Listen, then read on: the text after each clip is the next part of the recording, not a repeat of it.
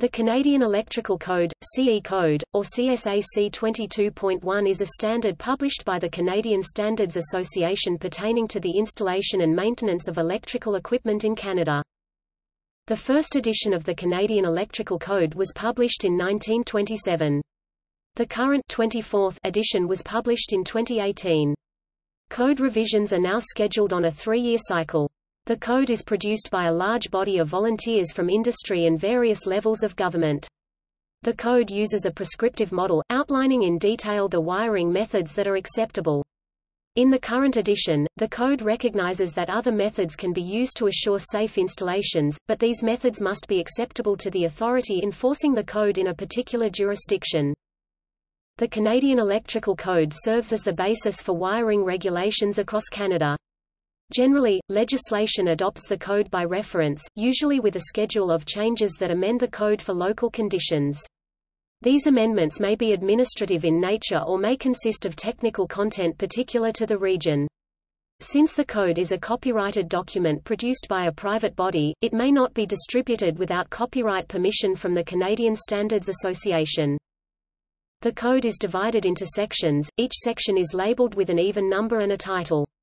Sections 0, 2, 4, 6, 8, 10, 12, 14, 16, and 26 include rules that apply to installations in general. The remaining sections are supplementary and deal with installation methods in specific locations or situations.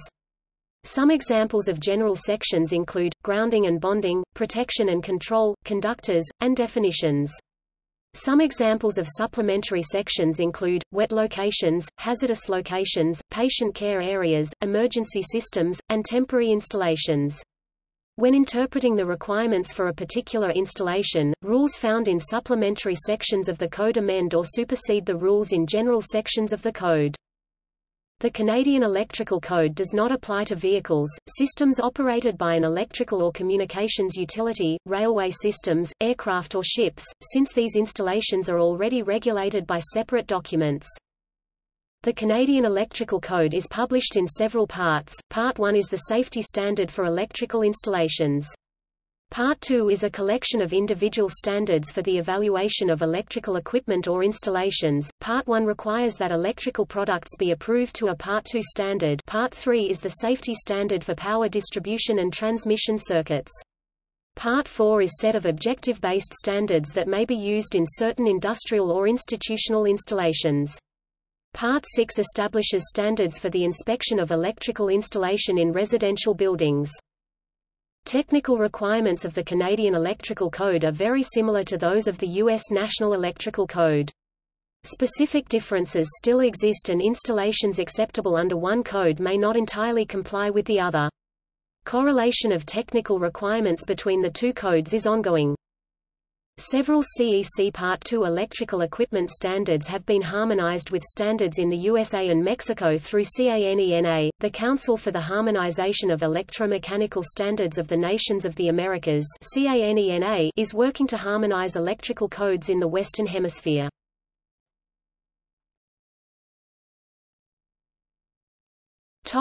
Objective-based code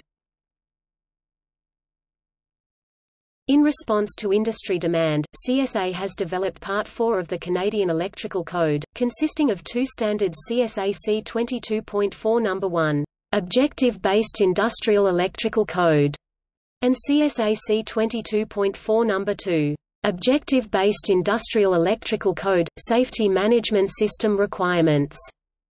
These standards are intended for use only by authorized industrial users and would not apply, for example, to residential construction.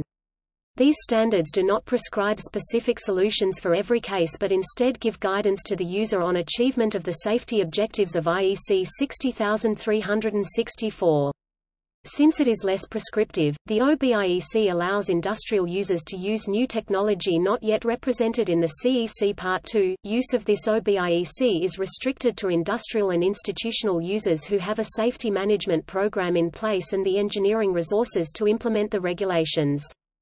It is intended that users of the OBIEC will maintain safety while using methods that will reduce the installation cost of large industrial plants, for example, in the petrochemical business.